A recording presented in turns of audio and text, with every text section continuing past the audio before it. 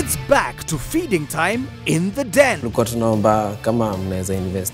Okay, and what's the problem? I'm like walking you through it like a child. It doesn't make any sense. I'm looking at at least 117 million for the whole year. I'm going to make an offer 2 million, 1.5 million. 40 million. Tune in tonight to find out who will be bold enough to confront the pride. KCB Lions Den every Tuesday night at 8 p.m. on KTN.